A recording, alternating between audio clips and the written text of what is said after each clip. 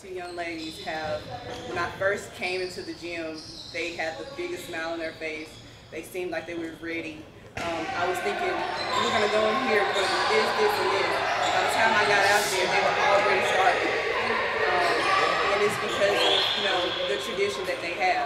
So that's the one thing that I'm just so excited about. It's the one thing that I'm just, you know, glad to be a part of um, because they are someone, or the team in general, are just, they're already just a go-getter.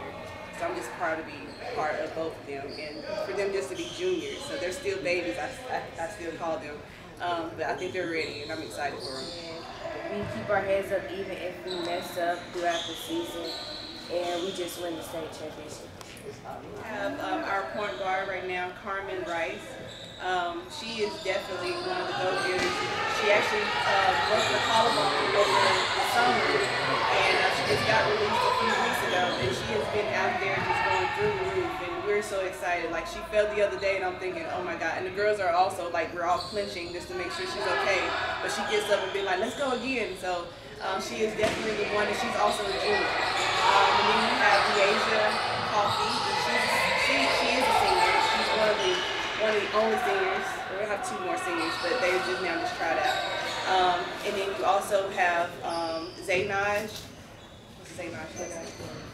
Gordon, sorry. And then you also have um, Jaden Gracie. So they're all juniors, and we only have the we have three seniors. So all of those young ladies together, just collaboratively, you know, we're going to go out there and do our best. I would say also in the expectation is to also keep keeping each other open, kind of like with coach there, kind. So over the summer, you know, the one thing that we continue to try to do is stay on the track. Um, and then stay, also stay on the, in the weight room. I think those things are very important when it comes down to just, first off, keep them com comfortable and confident. I think weight training is one of the things that you really have to do to kind of keep, um, especially young ladies, um, just to know that, you know, when they see, they, they see themselves in the mirror, like, you know, have they gotten stronger? We also make sure that, you know, I keep up with their times, you know, when we do um, mile runs. I keep up with their math. Um, so then they can see, okay, have I gotten better? Am I improving? And so those things right there, I think in general, just to kind of keep their mental state together when it comes down to being healthy. Our defense will definitely stop most teams. I feel like that's all I got to say. Uh, well, as a coach, you know, I always feel like you have to, in any league or, you know, organization or whatever, like, you have to be willing to learn.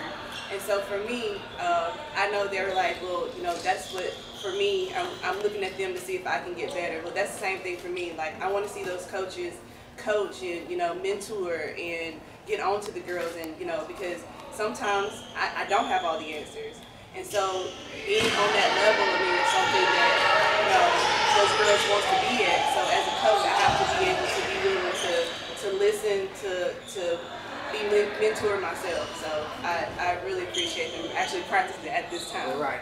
It actually makes me feel, it makes me feel good because it shows me that I have still a lot to learn and that, me that I still have a lot to learn and if I want to become one of them, I have a lot to, learn, a lot of work.